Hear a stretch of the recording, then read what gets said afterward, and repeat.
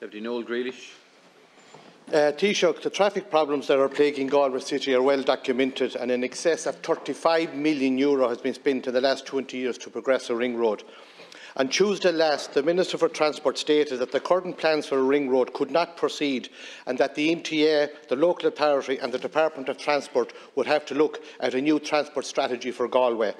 The following day, here in Dundal, Antonishta Micheál Martin said that the N6 Galway Ring Road is essential for the growth and development of Galway City and for the relief of unacceptable congestion.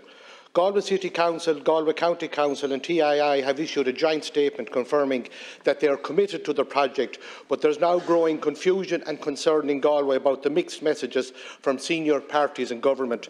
Businesses and residents who are plagued with daily traffic congestion are worried about the lack of a commitment uh, by the Minister for Transport.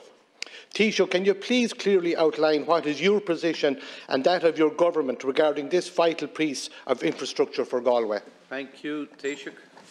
Thanks, um, uh, thanks, Deputy. I, I, should say that this is ultimately going to be a matter for An Bord to decide on, uh, and it has been remitted uh, to An Bord for a decision taking into account um, the Climate Action Plan. Um, but I'll be very straight with you, Deputy. Um, while there are different views in government on this matter, and that happens sometimes, and sometimes it's a healthy thing, um, I'm a supporter of the Galway uh, Ring Road.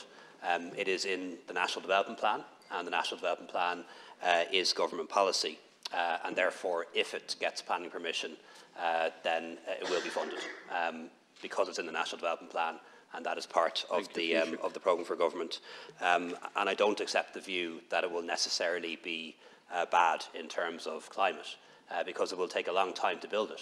And by the time it's being built, I would hope the vast majority of our vehicles will be electric and 80% of our electricity will come from renewables. Uh, and that will put a very different picture on it in terms of the emissions Thank created you, and that it will free up the city for cycling and for buses and for pedestrians. Deputy McGrath.